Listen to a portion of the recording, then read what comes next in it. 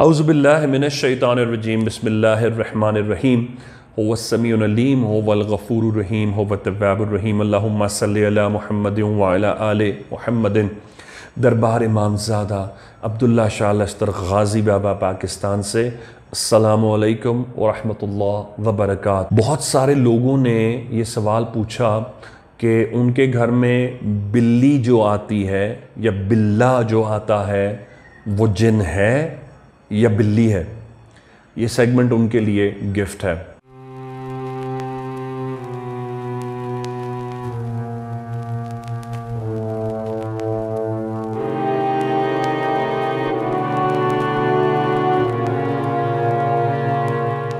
गुजारिश ये है कि इसको कोई प्रोफेशनल के तौर पर इस्तेमाल ना करें। गाजी बाबा के दरबार से अहल बैतुलतहार की जूतियों के सदक़े के तौर पर हदिया है। उन परेशान लोगों के लिए कि उनकी परेशानी दूर हो।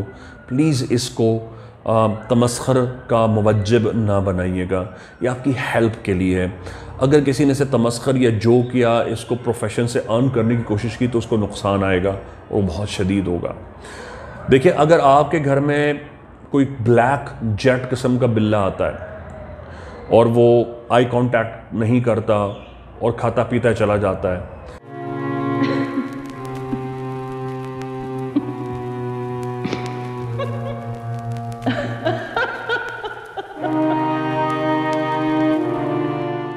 या फिर कोई बिल्ली है वाइट कलर की और आती है, चली जाती है, या आपका अपना कोई पेट है और वो एक कोने में थोड़ी देर के लिए ज़रूर जाकर बैठता है। और रात को कोई ऐसा टाइम होता है जब वो उठकर ज़रूर आपको एहसास दिलाता है कि वो वहाँ मौजूद है।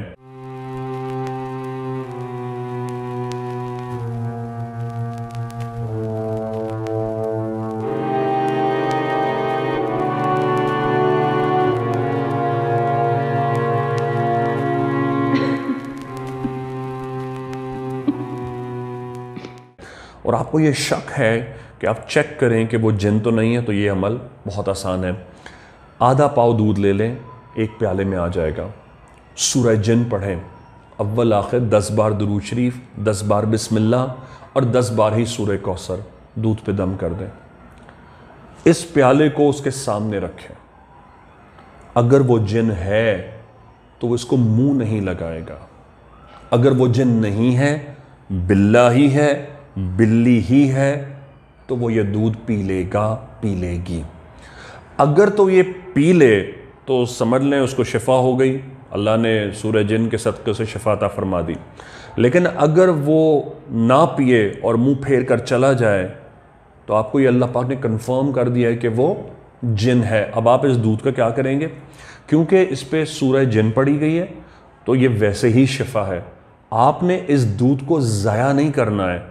आपने उठाकर किसी और बिल्लियों को पिला देना है। कोई भी बिल्ली पी लेगी, क्योंकि जो बिल्ली होगी, वही तो पिएगी। जिन होगा तो नहीं पिएगा। और जब आपको इससे फ़ायदा हो तो गाज़ी बाबा दरबार जाएँ, कुछ भी हसब तोफ़ी न्याज कर दें, उनकी दुआ ले लें। किसी और कंट्री में हैं तो अपने सैद सादात के दरबार जाएँ, उनकी दुआ ले लें। अल्लाह आपको हिफ्ज़ मान में रखे। अल्लाह सल महमद आल महमद हाफ़ या गाज़ी।